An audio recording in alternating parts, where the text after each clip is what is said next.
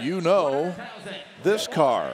This is a replica of the Dragula coffin dragster.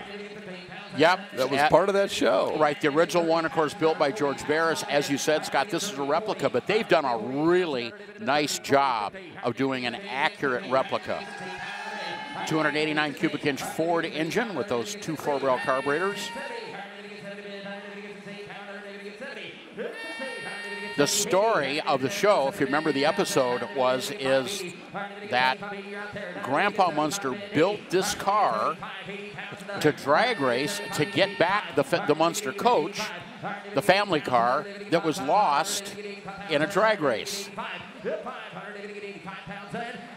And of course, the car won the drag race. And the legend was born. The legend was born, and the episode finished out as it always did with smiles and happiness for the Munster family. I think that's George Barris's uh, signature I there believe on, that the, it is, on yeah. the end of the coffin. Yeah. Raider wheels in the back. With those pie crust slicks, giving it a very authentic look. This is really nicely done.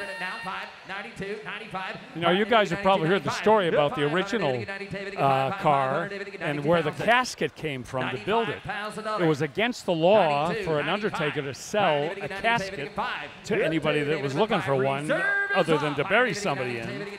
And so uh, Barris arranged for an undertaker to leave one behind his his uh, parlor in an alley, and a couple of Barris's guys came and picked it up, and that's the one that they used. So Wow. I had- technically, they didn't buy it. I had not heard that one. Yeah. Okay. So ninety-two thousand dollars. So the internet gets that one for $92,000. So with that, we will take a quick timeout and return with more of our terrific opening day lineup from Monterey, California after this.